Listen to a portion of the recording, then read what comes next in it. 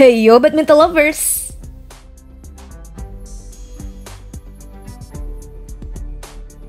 Beberapa waktu lalu, secara mengejutkan legenda bulu tangkis Indonesia Taufik Hidayat mengkritik permainan Jonathan Christie dan Anthony Ginting menyebutnya bukan termasuk pemain top dunia. Tunggal putra kebanggaan Indonesia ini telah mengharumkan nama Indonesia di Piala Thomas tahun 2000 dan 2002. Menyatakan bahwa Ginting dan Jonathan saat ini masih berjuang mengembalikan performa terbaik mereka meskipun peringkat mereka tinggi. Nah, tidak lama kemudian salah satu skuad Indonesia dalam kemenangan meraih Piala Thomas tahun 1976, 1979, dan 1984, yakni Lim Swee King, turut mendukung sentimen Taufik Hidayat bahwa Anthony Ginting dan Jonathan masih belum bisa disebut pebulu tangkis kelas dunia. Pernyataan dari Lim Swee King dan Taufik Hidayat ini tersiar hingga negeri tetangga Malaysia. Salah satu pemain andalan negeri jiran, yakni Lezija, pasang badan menanggapi pernyataan itu dan membela rekan seperjuangannya. Ia membantah jika Ginting dan Jojo disebut bukan pemain top dunia. Sebab tunggal putra terbaik Malaysia ini selalu mewaspadai kedua tunggal putra Indonesia itu di setiap turnamen. Lizija menyebut bahwa penilaian Lim Swee King dan Taufik Hidayat telah keliru melihat pemain tunggal Indonesia yang disinggungnya ini jelas-jelas masuk sebagai kelas dunia. Baginya, Jojo dan Ginting haruslah diwaspadai permainan apiknya pada setiap kejuaraan. Apalagi pada kejuaraan Piala Thomas yang akan digelar pada 8 hingga 15 Mei nanti. Lizija menganggap Jojo dan Ginting yang sekarang berada di peringkat 5 dan 8 dunia haruslah ditundukkan. Karena tidak setuju dengan pernyataan dua legenda Indonesia ini, Zijia menegaskan bahwa peringkat 5 dan 8 dunia itu sudah termasuk pemain top dengan hak mereka sendiri. Saya tidak setuju dengan mereka.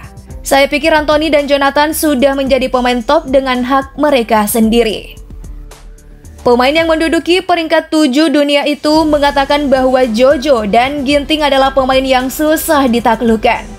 Zijia sendiri menyebut telah merasakan bermain berkali-kali dengan keduanya. Tetapi menurutnya Jojo dan Ginting bukanlah lawan yang mudah. Li Zijia tercatat hanya pernah mengalahkan satu kali pertandingan atas keduanya dalam lima kali pertemuan. Saya sudah memainkan keduanya berkali-kali dan mereka bukan lawan yang mudah. Memiliki penilaian sendiri terhadap Jojo dan Ginting yang sulit dikalahkan, Zijia bahkan mempersiapkan segalanya untuk bisa menundukkan kedua pemain top dunia Jojo dan Ginting di Piala Thomas 2022. Zijia yakin Jojo dan Ginting akan bermain apik untuk meraih gelar juara untuk Indonesia. Baik Jojo maupun Ginting, kedua pemain ini sebenarnya masih mempunyai peran penting dalam perjalanan Indonesia meraih gelar-gelar bergengsi. Seperti perebutan Piala Thomas Cup tahun lalu, Jonathan pemenang medali emas Asian Games 2018,